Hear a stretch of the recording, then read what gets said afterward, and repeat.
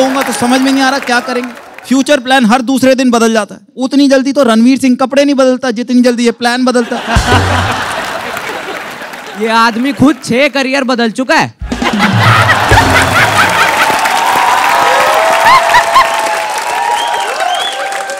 कभी ये कॉमेडी कर रहे हैं, कभी बिज़नेस कर रहे हैं, कभी नौकरी कर रहे हैं। बीच में इन्होंने आईपीएल में कमेंट्री भी कर ली थी, पता है? हाँ तो जो भी प्रोफेशन बदल रहा हूँ कम से कम वैरायटी देख बाप की हर जगह पैसा कमाया है। निकम्मों की तरह तो नहीं बैठा? निकम्मे से याद आया। आपके नए वीडियो में आपने हमें निकम्मा बुलाया।